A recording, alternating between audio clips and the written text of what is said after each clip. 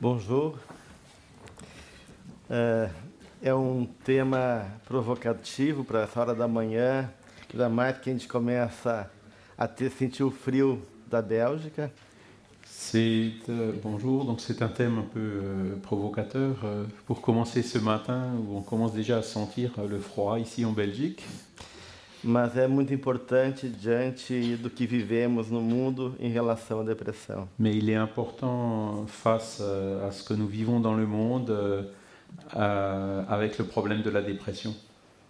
É, eu trouxe alguns dados para a gente ter uma ideia da depressão, tanto no mundo como na Bélgica. Je vous présente quelques données ici pour euh, que vous puissiez vous faire une meilleure idée du problème de la dépression dans le monde et en Belgique.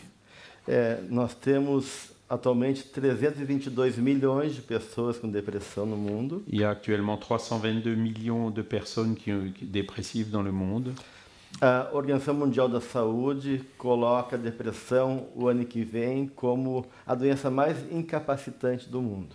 Et l'OMS, elle place, l'Organisation mondiale de la santé place la dépression comme euh, classe la dépression comme la maladie la plus euh, invalidante euh, dans, dans le monde. É, a taxa média de depressão é 4,4% no mundo. Le taux moyen, c'est de 4,4% dans le monde.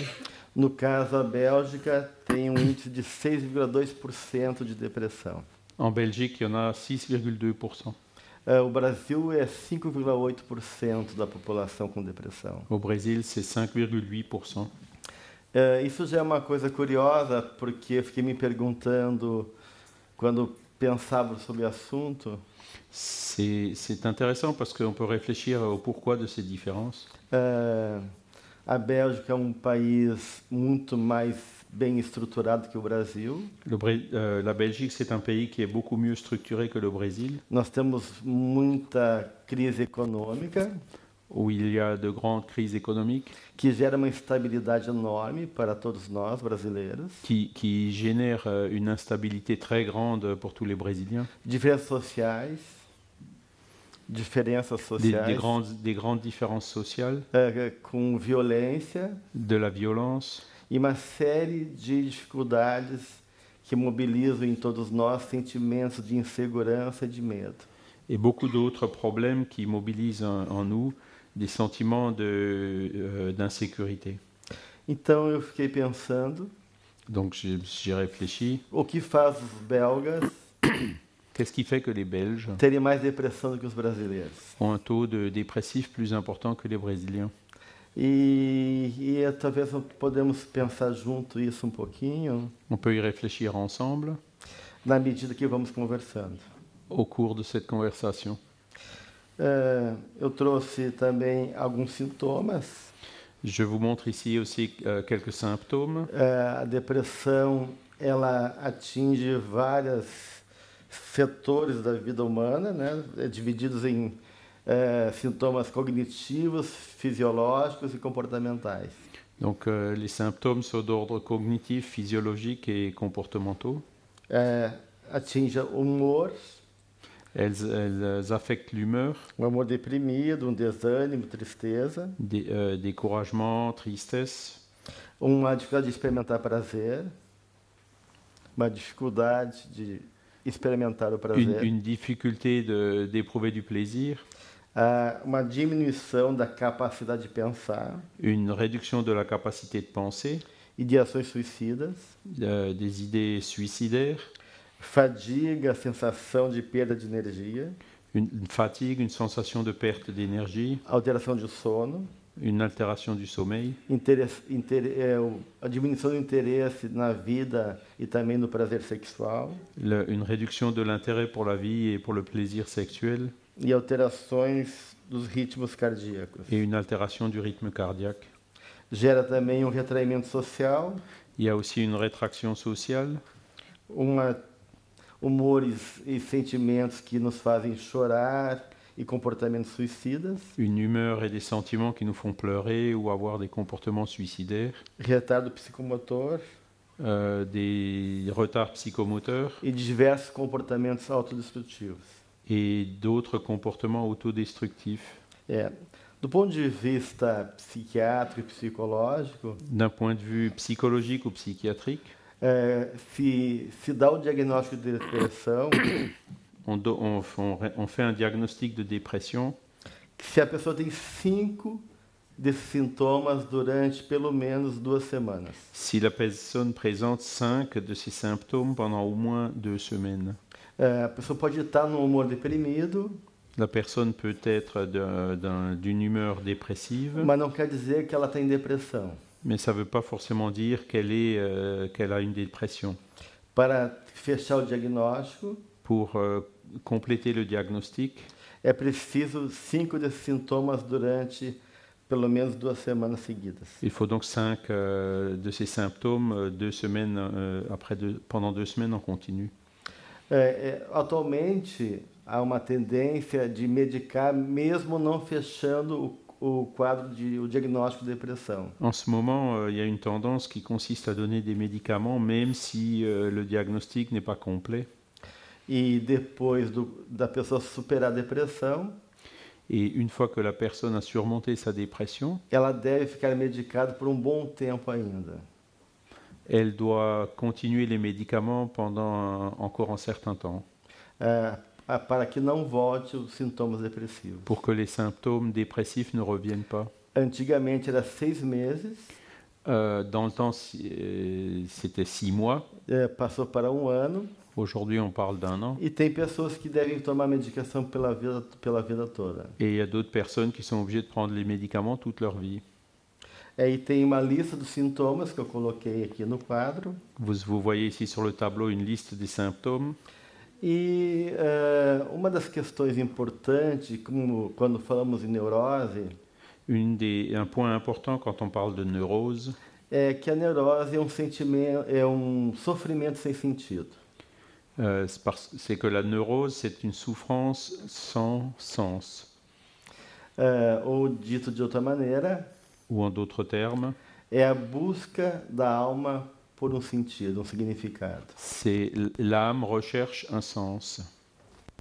É, e talvez a depressão reflita de maneira mais próxima essa concepção de neurose. Et la, la dépression reflète peut-être d'une manière un peu plus proche ce symptôme de neurose. É, é, Joana de Ângeles, que é aquela autora espiritual que eu comentava ontem, Johanna De Angelis, qui est cet auteur spirituel dont nous avons parlé hier, é, coloca que por trás da desordem depressiva elle dit que euh, euh, derrière un trouble dépressif, há uma insatisfação interna que não foi resolvida. il y a une euh, insatisfaction intime qui n'a pas été résolue.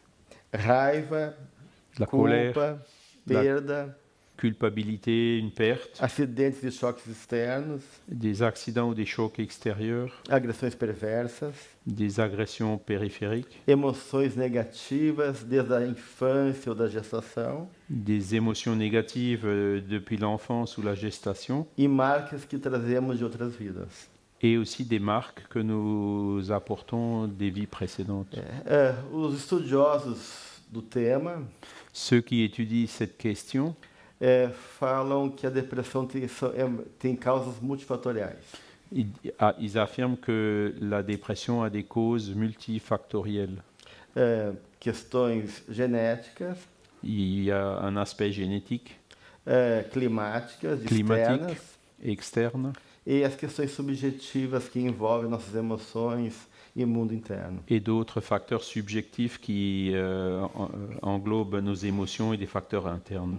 Mas uma questão importante em relação a tudo isso Mais un aspect important par rapport à tout cela, é que os estudos sobre resiliência, c'est que les études sur la résidence, re- resiliência à la résilience, pardon, é, que começou na América Latina, qui ont commencé en Amérique latine, em função justamente das limitações econômicas e sociais que o povo latino-americano vive, justement en fonction des limitations économiques et sociales euh, euh, que ces pays américains, latino-américains endurent. fez os pesquisadores refletir, pensar.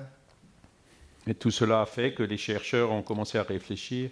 Como que algumas pessoas pour se demander euh, comment est-ce que certaines personnes, diante de tanto sofrimento, devant tant de souffrances, dificuldades e limitações graves, des, diffi- des difficultés et des limitations graves, eh, permaneciam com esperança gardaient toujours l'espoir e a capacidade de lidar com as dificuldades da vida. et des capacités pour faire face à ces difficultés de la vie. Porque a resiliência Parce que la résilience, essa capacidade c'est la capacité de suportar, de supporter, de lidar bem com, as, com os conflitos de, de faire face correctement euh, avec- au- par rapport au, conf- au conflit e sair fortalecido diante de uma dificuldade. et de, de ressortir renforcé après avoir enduré une difficulté. É, perguntado para uma criança brasileira órfã de rua Ils ont interrogé un, un enfant orphelin qui habitait dans la rue, é, como é que ela se sentia diante do mundo. comment qu'elle se sentait face devant le monde, Ela dizia que se sentia muito feliz. et elle disait que- que- qu'elle qu'elle se sentait très heureuse. E perguntaram como é que ela podia ser feliz diante de uma realidade onde ela era sozinha e não tinha nem pai nem mãe vivendo na rua. Ils ont demandé, mais comment est-ce que tu peux te sentir heureux dans cette situation où tu habites dans la rue et tu n'as ni père ni mère E ela disse: Mas eu tenho pai e mãe. Et l'enfant a répondu, mais j'ai un père et une mère. É, minha mãe é a natureza Ma mère, c'est la nature, e meu pai é Deus. et mon père, c'est Dieu.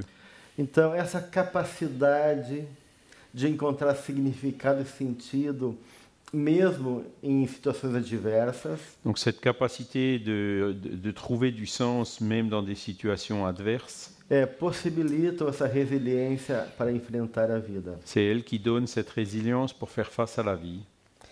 Então, podemos dizer que, acima de tudo, Nous pouvons dire donc que par-dessus tout, que a questão da depressão, la question de la dépression, apesar dos fatores externos, como dificuldades econômicas, violência, insegurança e também climática, malgré tous les facteurs externes comme euh, la violence, l'insécu- l'insécurité et les facteurs climatiques, nos leva a questões mais profundas da alma. elle nous mène à des questions plus profondes de l'âme. Eh, e como nos assevera Joana de Ângeles, Et comme euh, Johanna de Angelis nous le dit, há alguma coisa dentro de nós il y a quelque chose en nous que nos faz perder a conexão conosco mesmo, qui nous fait perdre la connexion avec nous-mêmes, de não perceber na vida de ne pas percevoir la vie, alegria, significado, dans la vie, donc euh, de la joie, un sens, um sentido para a nossa existência. un sens à notre donner un sens à notre existence. É, e uma das questões que mais percebemos do ponto de vista psicológico e espiritual Et une des questions euh, d'ordre psychologique et spirituel que nous percevons le plus dans ce domaine, é que trazemos dentro de nós c'est que nous portons en nous é, um conflito interno mal resolvido, un conflit interne qui n'a pas été résolu, gerando culpa, qui génère de la culpabilité, raiva, de la colère. um tipo de cobrança infantil frente à vida. Et une espèce de euh, d'attitude. euh, pardon? Ouais, cobrança infantil. Enfin, on, on- on demande des comptes de façon un peu puérile euh, face à la vie. É, então, de alguma maneira, é como, que, como se espiritualmente Donc c'est comme si, euh, d'un point de vue spirituel, fôssemos ainda crianças. nous étions encore des enfants, E apesar de cognitivamente même si cognitivement, perceber a vida, nous percevons la vie, existe um ser interno il existe un être intérieur é, assustado effrayé e é, inseguro diante das referências do mundo. et qui, est, qui a une insécurité devant les références du monde. É, como vimos anteriormente, Comme nous l'avons vu euh, tout à l'heure, é, vivemos num mundo em conflito, em crises, com vários sintomas. nous vivons dans un monde en conflit et en crise euh, et qui fait face à plusieurs symptômes. diversas dificuldades de lidar com a frustração. di- des difficultés qui génèrent de la frustration. De um lado, uma era de ansiedade, de estresse, D'un côté, une ère d'anxiété et de stress, e de outro lado, esse entorpecimento psíquico, et d'un autre côté, cet euh, euh, endormissement euh, psychique. Que nos faz ter essa indiferença. Qui, nous, qui fait que nous avons cette indifférence. E um- uma sensação de vazio. et une sensation de vide. Há um sentimento de estar à deriva, Il y a un sentiment qui, les sentiments sont à la dérive gerando várias patologias do desamparo et ça génère plusieurs euh, pathologies du desamparo, pardon, d'abandon. e doenças do vazio. Doenças do vazio. Et des- les maladies du vide. É como anomia, a adenonia, que é incapacidade de poder trabalhar nossos sentimentos. Et comme l'anomie et l'anédonie, qui est l'incapacité de travailler nos sentiments. Então, vamos pensar que todas as questões que nos surgem e nos desafiam no mundo moderno, Donc, euh, lorsqu'on réfléchit, toutes les questions qui, qui nous perturbent dans ce monde moderne, ou que nous nous posons dans ce monde moderne, acaba desencadeando euh, finissent par déclencher fatores que já trazemos dentro de nós. des facteurs que nous portons déjà en nous-mêmes. E, e uma das questões mais importantes dentro disso Et une des questions les plus importantes devant tout cela, é a perda da representação interna do centro da vida. c'est la perte de la représentation intime euh, qui est au centre de la vie. É, ontem se perguntava o que era a consciência, On- a, on, a, on, s'est- on a étudié le- la question. Qu'est-ce que c'est que la, con- la question a été posée Qu'est-ce que c'est que la conscience? E podemos dizer que temos dois níveis de consciência. Et on peut dire que nous avons deux niveaux de conscience. Uma consciência do ego, une conscience de l'ego, o eu pequeno, le euh, moi petit, e que é essa consciência cogni- cognitiva e reflexiva, et la conscience cognitive et réflexive, e uma consciência profunda et aussi une conscience profonde. do eu maior, du moi supérieur, do espírito. de l'esprit.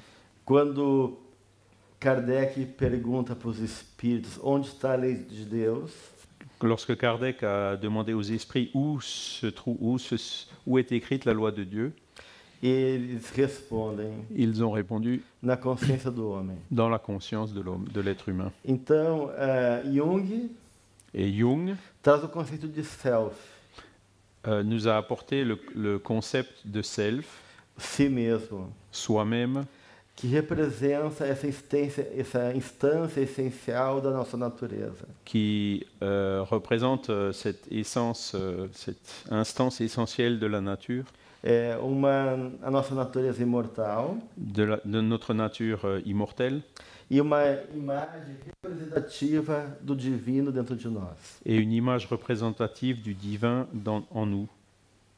E ele vai afirmar categoricamente Et il affirme catégoriquement que ninguém vive sem Deus. que personne ne vit sans Dieu. Podemos apenas escolher o Deus que queremos honrar. Nous pouvons juste choisir le Dieu que nous voulons honorer.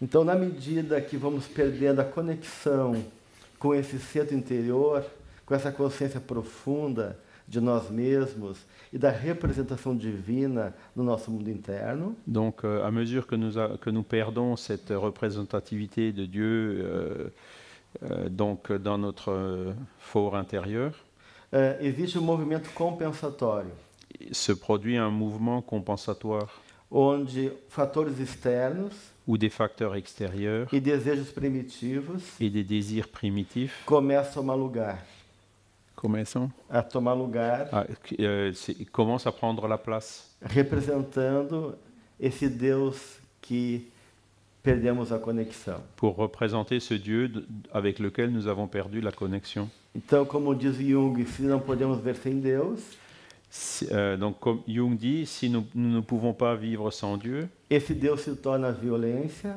et si Dieu se transforme en violence, as drogas, les drogues, o desejo material de sucesso, de ambição, etc. les ambitions matérielles de succès, euh, de richesse, etc. Mas o vazio continua dentro de nós. Mais ce vide va rester en nous.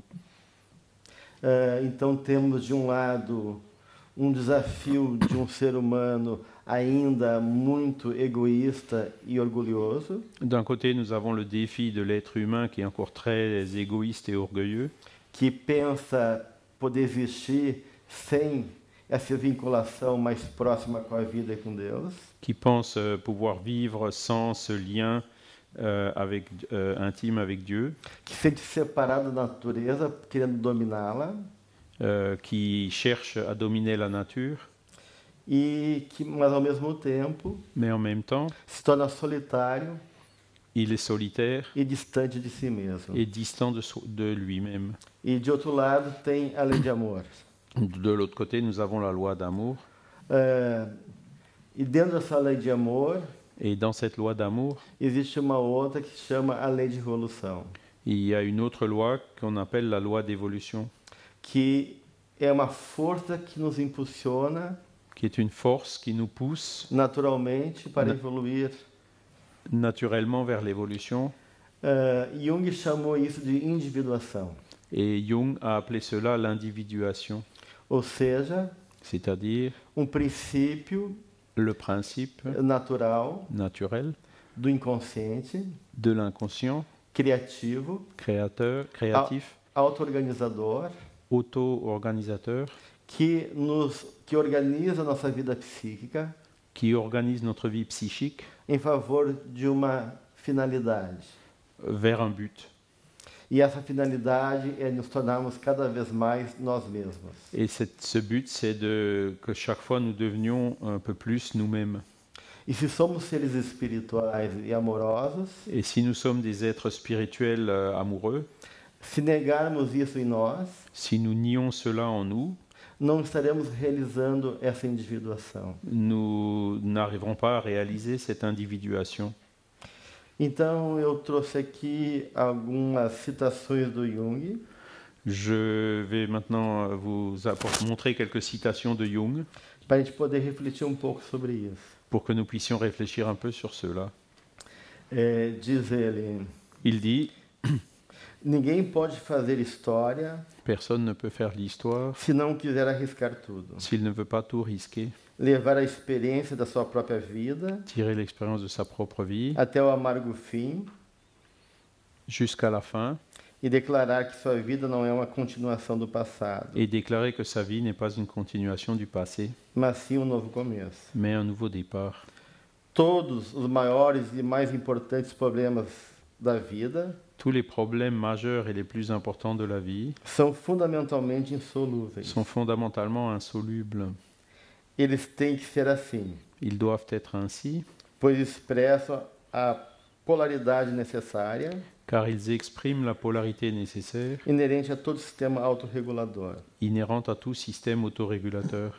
Não podem nunca ser resolvidos, Ils ne peuvent jamais être résolus, mas somente superados. mais seulement surmontés. Então, de igual maneira, essa colocação do Jung, Donc, euh, de même, cette euh, citation de Jung, de um lado, nos coloca frente à nossa dimensão pequena, frente à vida. donc, euh, nous place de- devant la, la dimension, notre petite dimension face à la vie. A nossa consciência não consegue apagar toda a realidade. Notre conscience ne peut pas euh, effacer toute la réalité. E tem questões na vida, Et il y a des questions dans la vie, como ele diz, comme il dit, que não podem ser superadas, solucionadas. qui ne, qui ne peuvent pas être solutionnées. Mas, na medida que suportamos e vivemos inteiramente, Mais dans la manière, de, à, à mesure que nous pouvons euh, les surmonter et vivre avec elles, vamos crescendo psicologicamente e espiritualmente. nous évoluons psychologiquement et spirituellement. É, quando Joana de Anjos nos coloca que trazemos uma marca do passado, Quand Johanna de Angelis nous dit que nous portons les marques de notre passé, é, pensando naquilo que Fernando Pessoa poeticamente nos colocou, que tudo é paisagem, euh, en- à l'image de ce que Fernando Pessoa nous a euh, poli- euh, poétiquement euh, décrit comme les images du passé, nous, euh, nous, nous portons en nous un paysage du passé. E. Et ce paysage interne reflète nos, nos conquêtes spirituelles. É, diante disso, Face à cela, todos nós, invariavelmente, euh, chacun de nous, invariablement, trazemos um desejo central. trazemos, Um desejo central. nous avons un désir central. É, os espíritos é, negativos, inferiores, Les esprits euh, négatifs et inférieurs, inclusive, y compris é, estudam no plano espiritual, no mundo espiritual, donc ces esprits inférieurs, eux aussi étudient dans le monde spirituel formas de perceber o nosso desejo central, des, des manières de percevoir notre désir central como uma forma de provocar conflitos intensificar essas dores internas. dans le but de provoquer des conflits et d'intensifier ces douleurs inter- intimes. Então, é, por trás dos nossos pensamentos, sentimentos habituais, Donc derrière nos pensées et nos sentiments euh, quotidiens, existe um pano de fundo, il y a un plan de fond, um padrão un modèle que marca o nosso temperamento e a nossa forma de ver o mundo. qui dénote notre tempérament et notre manière de voir le monde. E é fundamental que possamos pensar sobre isso. Et il est fondamental que nous puissions euh, réfléchir à cela. Qual é a lente que nós colocamos para ver o mundo? Quelles, quelles sont les, les, les, le- les lentilles, les lunettes que nous utilisons pour vo- regarder, pour voir le monde? Porque essa lente reflete esses padrões do nosso mundo interno. Parce que cette lentille reflète euh, les modèles de notre monde intime. E se não temos referências sólidas que nos ajudem a lidar com isso, Et si nous n'avons pas de références solides qui nous aident euh, à faire face à cela, vamos perdendo cada vez mais a capacidade nous perdrons toujours euh, davantage la capacité de encontrar um caminho para nós. de trouver un chemin pour nous. É, e aí temos a depressão C'est là qu'apparaît la dépression, como uma forma de expressar esse descaminho. Euh, de- qui est une forme d'expression de cette euh, erreur de, de chemin. Tem vários tipos de depressão. Il y a plusieurs types de dépression. Eu vou trazer dois mais comuns, Je vais parler des deux les plus fréquents fazendo uma relação com a alquimia, en faisant un lien avec l'alchimie com um símbolo, uma imagem metafórica da depressão. Comme euh, une image, euh, métaphore, une métaphore de la dépression. Temos o chumbo Nous avons le plomb e o sal. et le sel. O chumbo é o metal mais vil, mais comum, Le, le plomb, c'est le métal le plus vil, le plus commun, e ele representa psicologicamente et psychologiquement, il représente o lado cinza, rotineiro e pesado da vida. l'aspect gris, routinier et lourd de la vie. Então, eh, a depressão pelo chumbo La dépression par le plomb, é aquela depressão onde tudo parece a mesma coisa. c'est celle où tout paraît être la même chose. Nos sentimos cansados, On est fatigué, sem motivação. sans motivation. A vida é uma eterna repetição, La vie, c'est une répétition sem, incessante sem sentido. sans, qui n'a pas de sens E não vemos perspectiva. et on voit pas de perspective. Nosso corpo, nossa alma se sente esgotado. Notre corps et notre âme se sentent euh, épuisés. E a vontade é apenas ficar quietinho num canto. Et la seule volonté que nous avons, c'est de rester euh, tranquille dans un coin. Já a depressão do sal De son côté, la dépression du sel, é, é uma recusa frente à vida. c'est un refus de, face à la vie. O sal é cáustico, Le sel est caustique, é irônico. ironique. É, as pessoas com muito sal Les personnes qui ont beaucoup de sel tendem a ser muito críticas s- euh, s- tendent à être très critiques e, e uma certa devoção avec une dévotion às suas próprias feridas. à, à leurs propres blessures, Como ficar lambendo suas feridas comme euh, des personnes qui lèchent euh, leurs blessures e cultivando a sua dor. et qui cultivent leur douleur, Um tipo de masoquismo. comme une sorte de masochisme.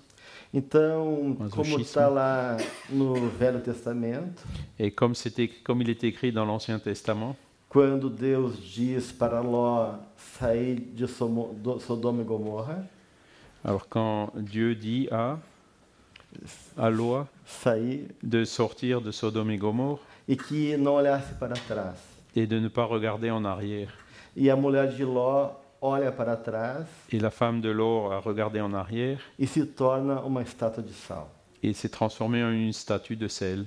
Isso representa simbolicamente Ça représente symboliquement uma pessoa que ficou amargura- amargurada e presa no passado. une personne amère et, et qui est restée attachée à son passé. Então, o excesso de sal tem a ver com ressentimento. L'excès de sel est lié au ressentiment. É, sal de menos é uma pessoa sem graça, sem sabor. Le manque de sel, c'est une personne euh, sans grâce, sans saveur, sans saveur.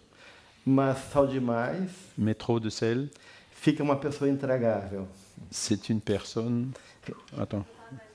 Pardon? Qu'on peut pas, euh, ouais, on peut plus l'avaler, quoi. Voilà. Ou seja, uma pessoa ressentida, excessivamente rancorosa e com as emoções feridas. Le ressentiment, une rancœur excessive et puis des émotions blessées. Por trás disso está o orgulho. Et, mais derrière cela, il y a, se, se trouve l'orgueil. Se a vida não me dá o que eu quero, Si la vie ne me donne pas ce que je veux, eu não brinco mais. je ne je, je joue plus. Então, percebemos, percebemos aí Donc euh, nous percevons ici eh, que por trás dos nossos sintomas que derrière ces, ces- ces symptômes, há uma atitude interna do nosso espírito. il y a une attitude intime de notre esprit. E se trazemos essas marcas do passado, esses padrões, Et si nous euh, portons ces marques et ces modèles du passé, e não percebemos o que eles significam, et ne- si nous ne- n'en percevons pas le sens, fica muito difícil entender por que nos deprimimos. On n'arrive pas à comprendre pourquoi on, on- on déprime. A gente pensa que é químico apenas. On pense que c'est juste quelque chose qui, chimique. Eu tive azar, eu sou assim. C'est, j'ai pas eu de chance, je suis comme ça. E na verdade existe uma dinâmica Alors qu'en vérité, il y a toute une dynamique a nossa realidade espiritual. qui reflète notre réalité spirituelle. Uma outra frase do Jung Une autre citation de Jung diz: tudo que é bom é difícil. qui dit Tout ce qui est bon est difficile E o desenvolvendo a personalidade et le développement de la personnalité é uma das mais difíceis de todas as coisas. est l'une des plus difficiles de toutes les choses. É uma questão de dizer sim a si próprio, Il s'agit de se dire oui euh, à soi-même como a mais séria das tarefas. comme la tâche la plus sérieuse, De estar consciente de tudo que se faz d'être conscient de tout ce qui se fait e ter sempre diante dos seus olhos et d'avoir toujours sous les yeux ceci em todos os seus aspectos dúbios. dans tous ces aspects douteux. Na verdade, En vérité, uma tarefa que nos exige ao máximo. c'est une tâche qui nous oblige au maximum. Então, eh, podemos eh, não superar tão facilmente nossas dificuldades, Nous, já que essa tarefa, como diz Jung, é realmente desafiadora. nous pouvons avoir effectivement des difficultés à surmonter nos difficultés parce que, comme Jung le dit, c'est un défi. Mas podemos ter a, po- a opção de dizer sim para nós mesmos. Mais nous avons au moins le choix de pouvoir dire oui à nous-mêmes. Eu não quero sentir isso. Je ne veux pas sentir cela. Eu quero ser feliz. Je veux, veux être heureux. Eu posso não lidar ainda muito bem com esses padrões internos, Je peux encore avoir du mal avec ces modèles intérieurs, mas eu opto para superar e ter uma vida mais, mais favorável. mais je choisis de les surmonter d'avoir une vie plus favorable. E se de um lado precisamos assumir esse compromisso conosco mesmo, Et si d'un côté nous devons assumer cet engagement envers nous-mêmes, também temos que lembrar que não, não estamos sozinhos. Nous devons aussi nous rappeler que nous ne sommes pas seuls. que não estamos desamparados. que nous ne sommes pas sans soutien, E diante do sal do chumbo, et même devant le sel et le plomb, temos em Deus nous avons en Dieu uma experiência de conforto. euh, une sorte de réconfort, Porque os outros deuses do mundo, parce que les autres dieux du monde, o poder, le pouvoir, a violência, la violence, eh, as drogas, les drogues, são deuses que não saciam. ce sont des dieux qui n'apportent pas la satiété. Então é importante resgatar essa conexão perdida conosco mesmo e com a divindade. Il faut donc retrouver cette connexion perdue avec nous-mêmes et avec la divinité. É, talvez Peut-être, seja difícil resgatar isso atualmente, c- aujourd'hui, c'est difficile de euh, retrouver cela, de racheter cela, porque estamos marcados de, por religiões parce y a, il y a marcados. C'est parce qu'ils sont marqués, ils ont un- une connotation religieuse é, que nos enganaram. qui nous ont trompés. Guerras religiosas, Les guerres de religion, o uso do discurso religioso le- le- la mauvaise utilisation du discours religieux para interesses próprios. euh, à des fins d'intérêt particuliers. É, Deus há muito tempo saiu da religião. Ça fait longtemps que Dieu est sorti de la religion. Por isso que hoje em dia C'est pour ça qu'aujourd'hui, não falamos mais em religião, on ne parle plus de religion, mas em espiritualidade. mais de spiritualité. E devemos resgatar nossa espiritualidade. Et nous devons donc euh, retrouver, recouvrer notre spiritualité, A nossa fé na vida, notre foi dans la vie, a nossa confiança que esse mundo é bom e nos acolhe notre confiance que ce monde est bon et nous accueille, e que tem um ser amoroso que nos sustenta. et qu'il existe un être amoureux qui nous soutient. E então, a partir dessa experiência que gera significado, À partir de cette expérience qui génère du sens, esperança l'espérance, e nos dá resiliência, et nous donne de la résilience, as dificuldades les difficultés e conflitos et les conflits, se tornam mais fáceis para lidar. on arrive beaucoup, c'est beaucoup plus facile d'y faire face. É, e aí trazemos uma outra frase do Jung. Et je vous, je vous montre ici une autre citation de Jung, O desapontamento, la déception, que é um choque para os sentimentos, qui choque les sentiments, não é somente a mãe da amargura, n'est pas seulement la mère de l'amertume, mas o mais forte incentivo possível. Mais le plus fort stimulant possible. Para uma diferenciação do, do sentimento. pour une différenciation des sentiments. O fracasso de um plano favorito, L'échec d'un plan favori, o decepcionante comportamento de uma pessoa amada, le comportement décevant d'un être cher pode fornecer o impulso, peuvent donner l'impulsion, seja para uma explosão mais ou menos brutal do afeto, soit pour un élan d'affection plus ou moins brutal, ou para uma modificação e ajuste soit pour une modification et un ajustement de sentimento. du sentiment, E, portanto, et donc para o seu maior desenvolvimento. pour son développement intérieur. Compreendemos assim Nous comprenons avec cela que toda a dinâmica da vida, que toute la dynamique de la vie, a partir dessa visão amorosa divina, euh, à partir de cette vision amoureuse divine, concorre para em nosso favor. concourt en notre faveur. E mesmo as grandes dificuldades, como diz Jung, Même les grandes difficultés, comme nous dit Jung, é uma provocação divina sont, sont comme une provocation divine para elaborar e potencializar as, os elementos que trazemos dentro de nós. pour, éla- pour élaborer et potentialiser les éléments que nous portons en nous-mêmes. Como diz ele, para um desenvolvimento maior da nossa personalidade. Comme il le dit, pour un développement euh, plus large de notre personnalité.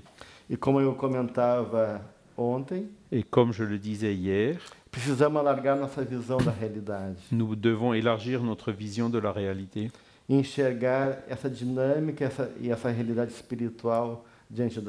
Voir cette réalité, cette, euh, cette dimension et cette réalité spirituelle euh, dans notre vie.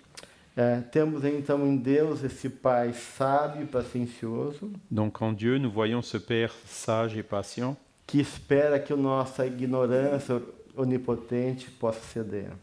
qui, qui attend de notre fierté qu'elle cède.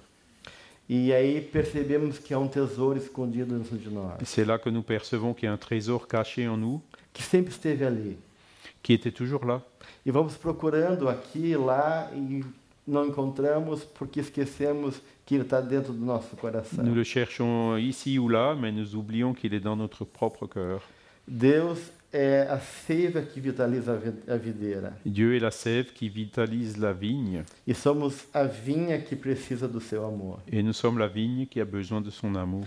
Então, que possamos ir ao reencontro de Deus, Puissions-nous aller à sa retrouvaille, é, confiando em seu amor em tudo que envolve e dignifica a nossa vida, que é a expressão da sua própria natureza em nós mesmos. confiant en amour qui enveloppe tout et rend digne de sa propre nature, euh, que nous nous rendons compte de sa propre nature qui est en nous. É, para isso, Pour temos cela, que assumir que temos um- uma força de nós, uma potência, recuperar essa potência interna.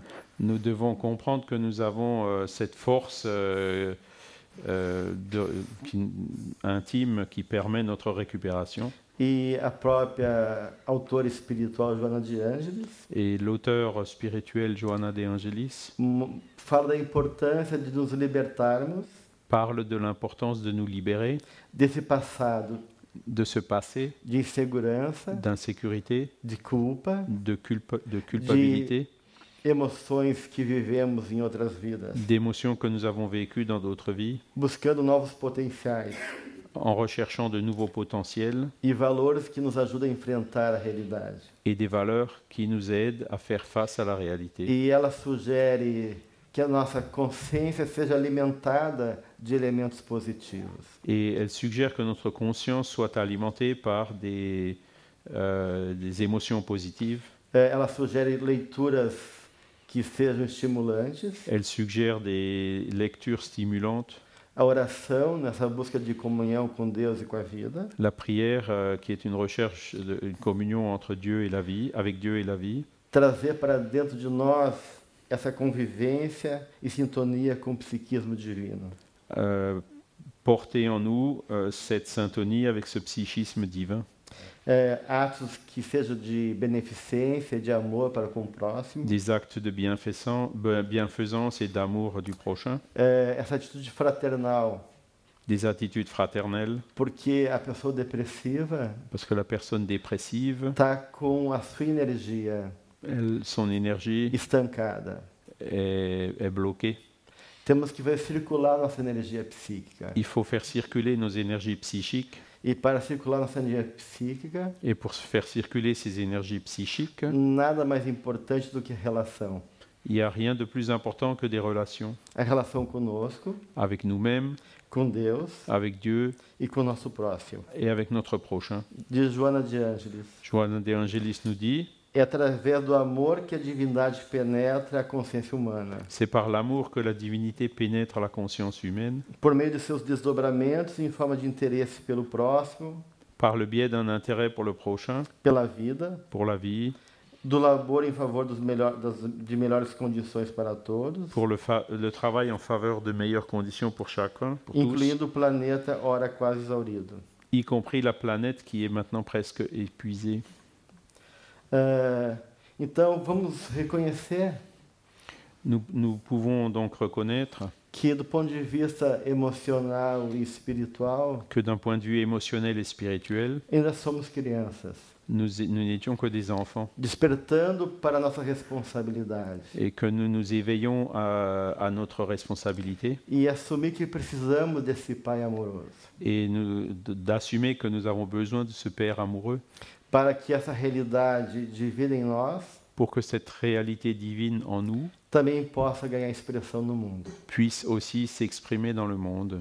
E aí, para finalizar, Et pour terminer, eu trago uma poesia que foi psicografada por Chico Xavier. je vais vous montrer une poésie qui a été psychographiée par Chico Xavier. Ele estava em, em, em seu lar Il était chez lui e aí, de repente, et soudain, chega um espírito de muita luz il y a un esprit qui, avec beaucoup de lumière, que não se identificou, qui ne s'est pas identifié. apenas disse ser o espírito. Et il a dit qu'il était simplement l'esprit.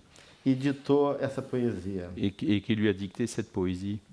É, Deus é meu pai, Dieu est mon père, a natureza é minha mãe. la nature est ma mère. A criança brasileira já sabia disso. La- le, le petit garçon brésilien dont nous avons parlé au début le savait déjà.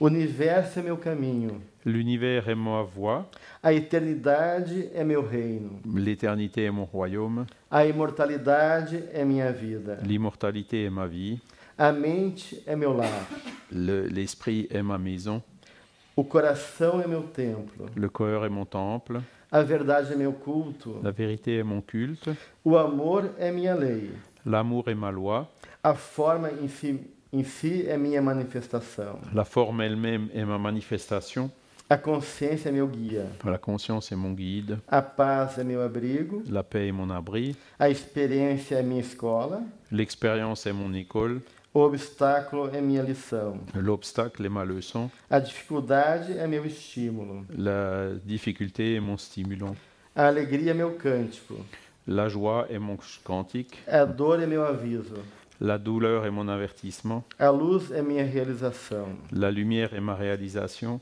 o trabalho é minha bênção, le travail est ma bénédiction, o amigo é meu companheiro, l'ami est mon compagnon, o adversário é meu instrutor, l'adversaire mon instructeur, o próximo é meu irmão, le, prochain est mon frère, a luta é minha oportunidade, le combat est mon opportunité, o passado é minha advertência, le passé est mon avertissement, o presente é minha realidade, le présent est ma réalité, o futuro é minha promessa, le futur c'est ma promesse, o equilíbrio é minha atitude, l'équilibre c'est mon attitude, a ordem é minha senha, l'ordre est mon mot de passe, a beleza é meu ideal la beauté est mon idéal e, e a perfeição é meu destino. et la perfection est mon destin. Obrigado. Merci.